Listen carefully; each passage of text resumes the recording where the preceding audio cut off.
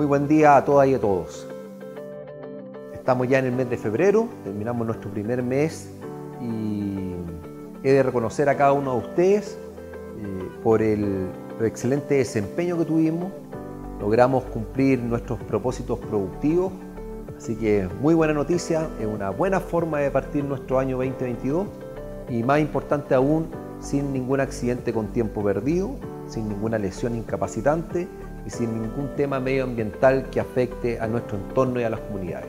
Por lo tanto, les doy las gracias a cada uno de ustedes y los invito a seguir en la senda de cumplir nuestros compromisos, de tener esa mística, de eh, asegurar que las cosas que decimos sucedan.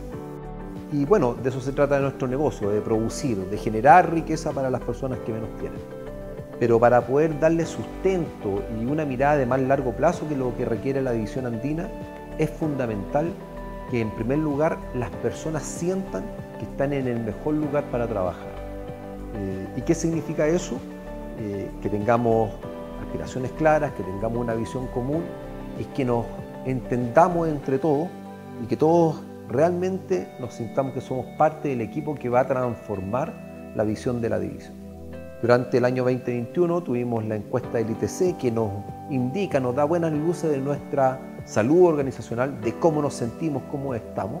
Y bueno, los resultados son malos. Podemos eh, echarle la culpa a muchos factores, como por ejemplo la huelga. Pero creo que eso dista y es esconder la cabeza en problemas que son mucho más grandes y que tenemos que necesariamente enfrentar.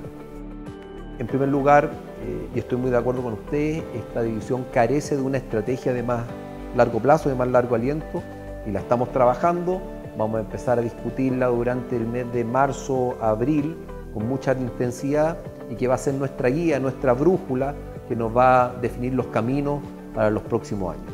Lo que sí les puedo adelantar es que vamos a tener tres hitos importantes dentro de la planificación, donde el primero desde el 22 al 25 es cumplir nuestros compromisos, recuperar nuestros activos y recuperar una cultura y una mística que nos permita estar en una posición de sentirnos cómodos, sentirnos valorados y sentirnos motivados a ser mejores. Luego vamos a tener un segundo, un, un segundo tramo de la planificación donde va a ser sostener este incremento productivo y mejorar nuestros modelos operativos que nos permita ir siendo un poquito más eficientes, pero ya cumpliendo las 90.000 toneladas. Para luego en un tercer hito eh, o una tercera guía importante en el tiempo es pensar en el largo plazo.